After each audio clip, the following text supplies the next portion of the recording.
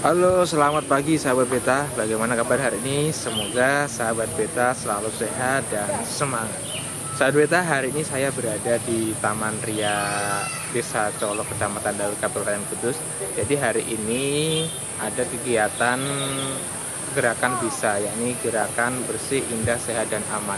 Jadi gerakan ini yakni dipelopori dari Kementerian Pariwisata dan Ekonomi Kreatif Republik Indonesia. Jadi bagaimana kegiatannya?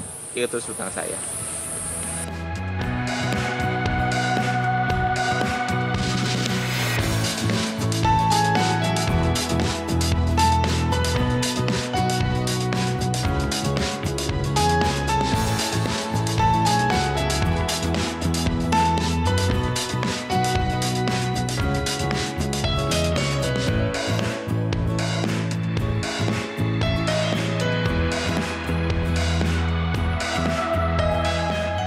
dari tadi ada sarana prasarana dari Kemenkraf aja Pak. Apa aja Pak? Oh, hanya jelas alat-alat kebersihan. Alat kebersihan untuk menunjang Alat-alat kebersihan kita ini bisa ini bicara gerakan bisa. Iya. Bersih indah, uh, sehat aman.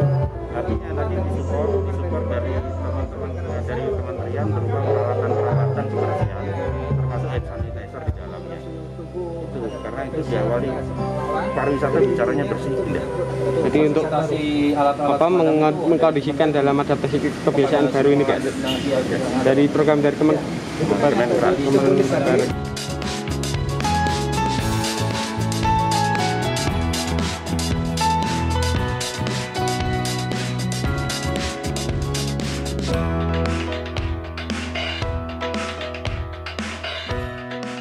Gerakan bisa ini adalah sangat mendukung sekali dari Kementerian Pariwisata. Harapan kami di Colo ini memang banyak potensi-potensi area yang memang memang cocok untuk jadi wisata baru untuk pengembangan wisata. Karena terus terang, kalau kita mengandalkan dari APBD, kita tidak bisa mengcover semua. Padahal kita sendiri terutama baru kita mengcover untuk akses-aksesan saja, infrastruktur. Itu pun tidak bisa semuanya. Maka dari itu dengan adanya kementerian untuk langsung ke sini memberikan dukungan seperti ini, dan tadi minta untuk DAK-nya supaya bisa di dalam perencanaan nanti bisa masuk ke sini. Ya kan? Nah, untuk daerah lain pun banyak yang bisa banyak mendapatkan untuk 2 sampai 3 miliar, bahkan ada yang sampai 5 miliar untuk mendukung destinasi wisata di daerahnya. Nah, harapan kami pun juga ada investor-investor yang datang ke Kudus untuk membuat ikon-ikon di Kudus, destinasi wisata Kudus yang kira-kira bisa menarik wisatawan-wisatawan. Karena kita mengingat income yang terbanyak di Kudus ini dari segi PAD itu adalah dari wisata. Kira-kira untuk pembukaan wisata sejauh ini seperti apa? Kita tetap jalan terus, Mas. Kita tetap jalan terus. Cuma SOP-nya harus jalan. SOP-nya jalan karena kita harus di dalam eh, untuk pergerakan ekonomi pun jalan, kesehatan pun kita harus jalan. Pada intinya kita membolehkan, tapi asalkan kedisiplinan protokol kesehatan tetap harus jalan. Terutama di dalam pemakaian masker, ya kan?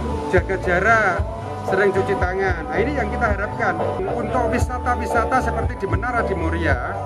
Ini untuk internal dulu. Seandainya ada di luar kota boleh, tapi harus ada pendaftaran lewat online, ya kan?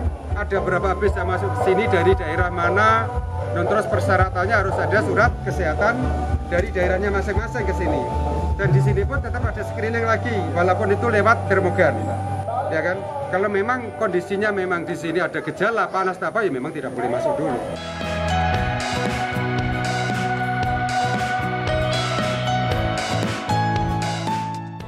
Sahabat, itulah liputan saya hari ini mengenai tentang gerakan bisa bersih, indah, sehat, dan aman di Taman Ria Colo, Desa Colo, Kecamatan Dawe, Kabupaten Kudus. Jadi hari ini sekelompok warga yang dipromotori oleh Kemenkraf Republik Indonesia melakukan gerakan bersih-bersih tempat wisata yang dahulunya sempat tertutup karena COVID jadi hari ini tempat wisata sudah bersih, sudah indah, sudah sehat, sudah dan tentunya sudah aman untuk dikunjungi para wisatawan yang datang.